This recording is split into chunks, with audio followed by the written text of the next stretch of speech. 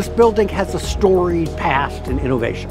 This was a pioneer in print. So this is where the Post Dispatch was printed for about a 30 or 40 year period.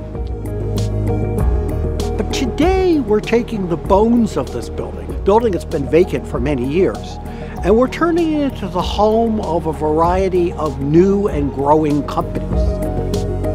This building is being developed by a subsidiary of Washington University. It will be the home of BioSTL, which is really the center of the biotech industry and the growth of the biotech industry in St. Louis.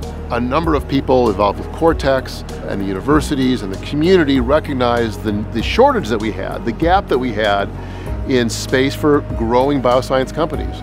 And we've been at this long enough now that we're really bursting at the seams and the bioscience startup ecosystem is really blossoming. And we're so fortunate that Washington University and its leadership had the vision that this building could help fill that gap.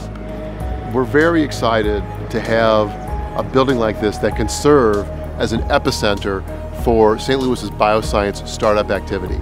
And we are one of the leading urban innovation districts in the country. This is one of the pieces that you need to have.